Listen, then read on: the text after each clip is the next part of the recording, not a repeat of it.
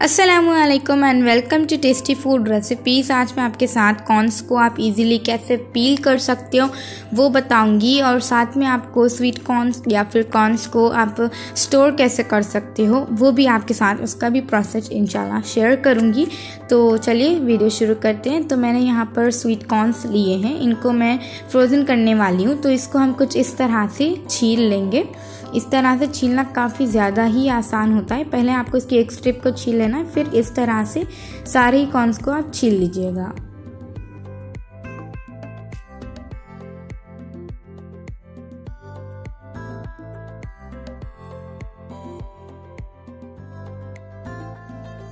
तो ये देखिए, मैंने सारों को ही अच्छे से छील लिया है, और अब हम इनको बॉईल करेंगे तो उसके लिए मैंने एक भगोने में पानी लिया है। इसमें हम नमक ऐड कर देंगे, एक टेबल स्पून एक टीस्पून हम इसमें ऐड कर देंगे चीनी।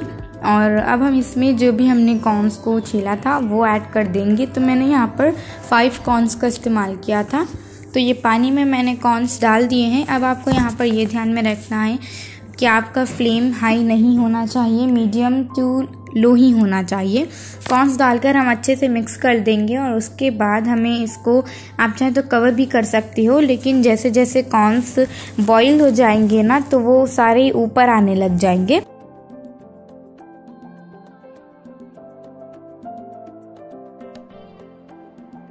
तो हमें मीडियम टू लो फ्लेम पर ही इनको बॉईल करना है और बीच बीच में इस तरह से हम थोड़ा सा मिक्स भी करेंगे। तो अब आप ये देखिएगा कि सारे ही कॉर्नस धीरे धीरे करके ऊपर आ रहे हैं।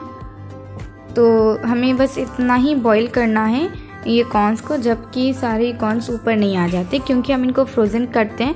तो इनका जो कलर है वो बरकरार रखने के लिए हम इनको इतना ही बॉईल करते हैं। तो अब हम फ्लेम को बंद कर देंगे और इनको थोड़ा सा मिक्स करेंगे। और ये देखिए, जब ये कॉर्नस बॉईल हो जाते हैं तो इनका कलर बिल्कुल ऐसा हो जाता है। तो अब हम एक छन्नी लेंगे और उसमें इनको छान लेंगे। छानने के बाद हम इनको एक ठंडे पानी के बर्तन में इस तरह से डाल देंगे। ऐसा करने से क्या होगा कि ये जो कॉर्न से इनका कलर बिल्कुल भी नहीं चेंज होगा। ठंडे पानी में डालकर हम इनको 15-20 सेकंड तक रखेंगे और वापस से छान लेंगे। तो ये देखिए, बिल्कुल ये इस तरह से। और अब हम इनको एक बैग में, मैंने ये वाला बैग इस्तेमाल किया है। आप जिपलॉक बैग में डालिए या फिर कोई भी कंटेनर में इनको डालकर स्टोर कीजिएगा।